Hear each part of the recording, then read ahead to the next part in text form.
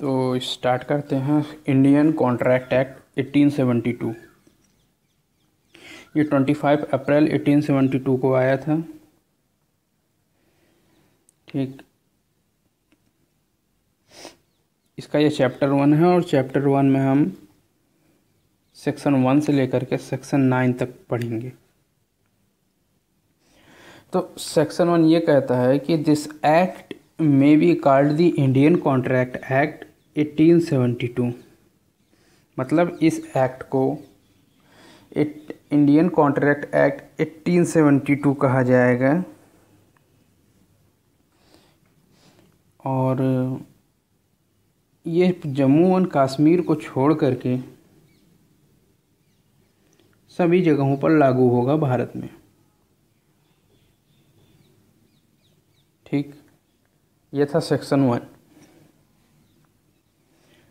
अब section two पे आ जाइए, जो कि है इंटरप्रिटेशन क्लासेस इसमें डिफिनेशंस दी गई हैं।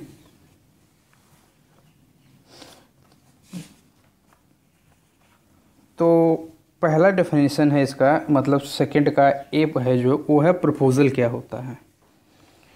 तो प्रपोजल होता है when a person signifies to other or another his willingness willingness माने इच्छा। टू डू और एब्स्ट्रेन माने ना करना।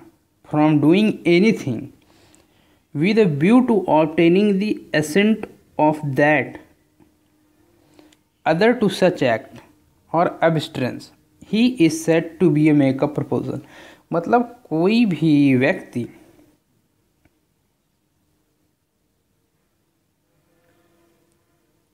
किसी दूसरे व्यक्ति से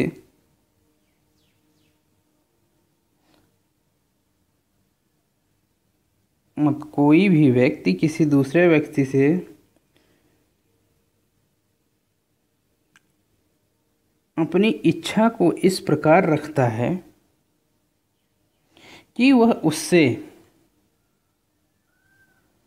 इस इच्छा के प्रति सहमति मिल जाए और इच्छा रहती है कुछ करने की या कुछ न करने के, रोकने की। इसको प्रपोजल बोलते हैं एग्ज़ाम्पल से समझते हैं। जैसे ए बी ए को एक पेन बेचनी है बी को, ठीक? तो ए उस पेन को बी के सामने ऐसे रिप्रेजेंट करेगा कि बी राज़ी हो जाए वो पेन खरीदने को, क्योंकि ए को वो पेन बेचनी है।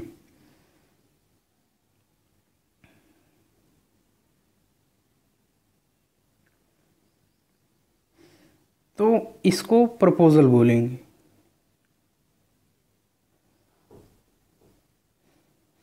ठीक। अब इसको ऑफ़र भी बोलते हैं।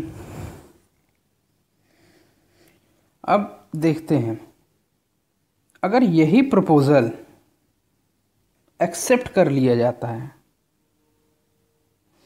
बी पे आ गए हम लोग टू के बी पे। यही प्रपोज़ल या ऑफ़र एक्सेप्ट कर लिया जाता है तो ये प्रॉमिस बन जाता है। एग्ज़ाम्पल के तौर पे। ए को बी को वही पेन बेचनी है। बी ने पहले ऑफ़र रखा या प्रपोज़ल रखा।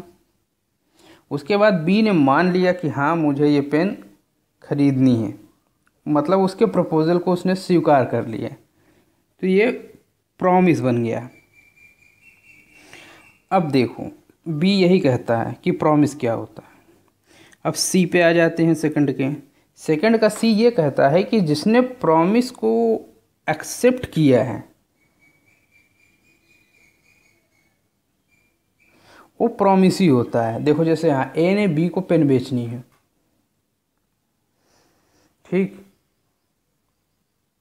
अब ए ने प्रॉमिस किया, जब बी राज़ी हो गया पेन लेने को तो ए ने कहा कि मैं आपको पेन ये दे दूँगा। मतलब ए ने प्रॉमिस किया बी से कि मैं ये पेन आपको दे दूँगा। तो यहाँ ए जो होगा, वो प्रोमिसर होगा मतलब प्रॉमिस करने वाला, और जो बी होगा, यहाँ प्रॉमिस होगा मतलब प्रॉमिस को स्वीकार करने वाला। इसको वचन ग्रहिता भी बोलते हैं। हिंदी में प्रॉमिसी को।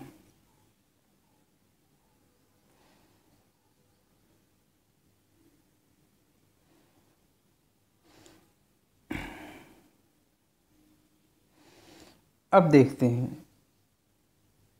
और अगर इसी, अब देखिए कंसिडरेशन फॉर द प्रॉमिस क्या होता है? ये सेकंड के डी में बात करता है। कंसिडरेशन ऑफ़ द प्रॉमिस क्या होता है। मान लीजिए ए ने बी से प्रॉमिस किया देने को।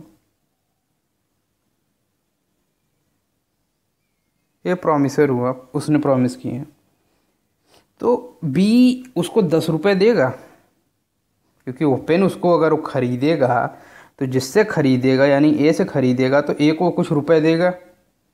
तो ये जो रुपए देगा दस रुपये यही कंसिड्रेशन बोला जाएगा। कंसिड्रेशन बेसिकली होता है किसी चीज़ के बदले में।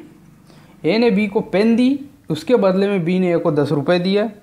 ये कंसिड्रेशन हो गया ऑफ़ द प्रॉमिस यही बात करता है सेक्शन टू का डी अब सेक्शन टू के ई e में आ जाते हैं। एग्रीमेंट क्या होता है? एग्रीमेंट। हमने पढ़ा था कि जो ऑफ़र या प्रपोज़ल एक्सेप्ट हो जाता है तो वो प्रॉमिस बन जाता है। और अगर यही प्रॉमिस, इसी प्रॉमिस में कोई कंसिड्रेशन जोड़ देते हैं, लेकिन एक चीज़ ये ध्यान रखनी है, कंसिड्रेशन लॉफुल होना चाहिए। किसी भी प्रॉमिस में अगर कंसिडरेशन को जोड़ दिया जाता है तो वो एग्रीमेंट बन जाता है। और किसी भी प्रॉमिस में अगर कंसिडरेशन नहीं जुड़ा है तो वो एग्रीमेंट नहीं हो सकता। और अगर प्रॉमिस में लॉफुल कंसिडरेशन को जोड़ देते हैं तो वो एग्रीमेंट बन जाता है। यही सेक्शन टू का ई e कहता है। अब सेक्शन टू का एफ़ है, जिसको बोलते हैं रेसिप्रोकल प्रॉमिस अब देखिए ए ने बी से कहा कि मैं आपको अपनी पेन दस रुपये में बेचूँगा। बी ने कहा, ठीक है, मैं लेने को तैयार हूँ। इधर दो प्रॉमिस बनते हैं। कैसे? पहला प्रॉमिस तो ये है कि ए को, ये पेन बी को देनी पड़ेगी। ए ये प्रॉमिस करेगा कि मैं आपको ये पेन दूँगा। और बी क्या प्रॉमिस करेगा? आप मुझे ये पेन देंगे तो मैं आपको दस रुपये दूँगा। इधर ए ने भी प्रॉमिस किया, इधर बी ने भी प्रॉमिस किया। कंसिडरेशन ए की तरफ़ से भी आया कंसिडरेशन बी की तरफ़ से भी आया। कंसिडरेशन माने के बदले में। एक ए की तरफ़ से कंसिडरेशन ये आया कि वो पेन देगा बी को बी की तरफ़ से कंसिडरेशन ये आया कि वो दस रुपये देगा। तो इधर देखा जाए तो प्रॉमिस दोनों तरफ़ से हुए। इसी को रेसिप्रोकल प्रॉमिस बोलते हैं।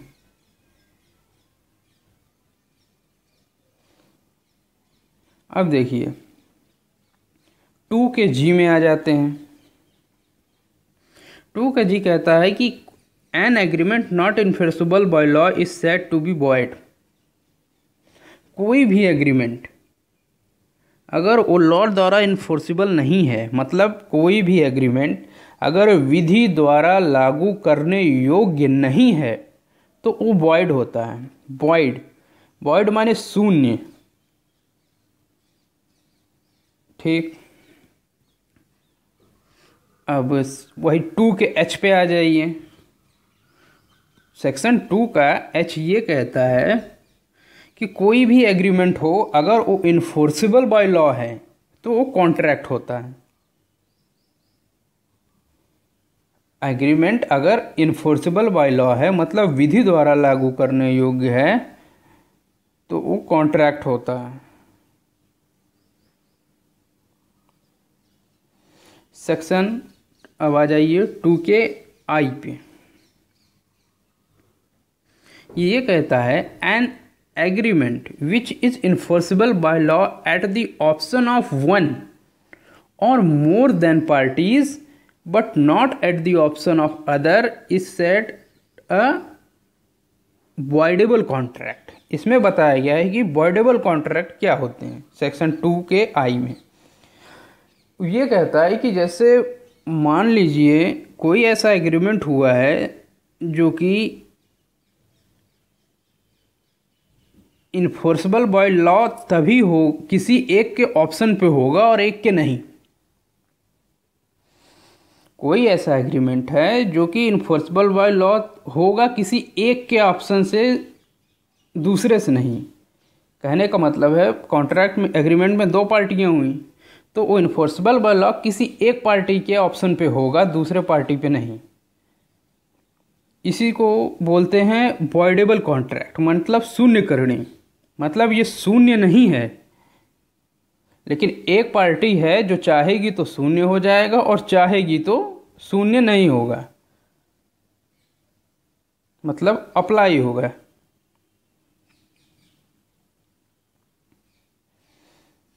लेकिन इसमें केवल एक पार्टी रहेगी। अगर दोनों पार्टी कह देती हैं कि ये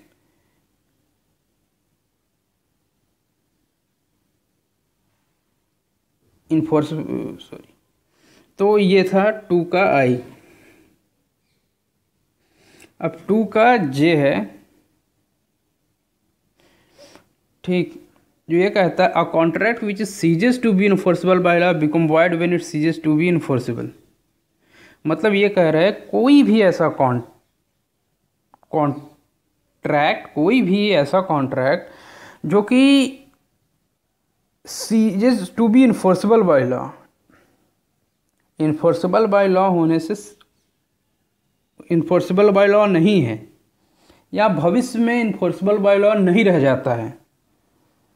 सीज हो जाता है to be enforceable by law वो वॉइड हो जाएगा। ये है सेक्शन टू का जे तो ये इंटरप्रिटेशन क्लास थी।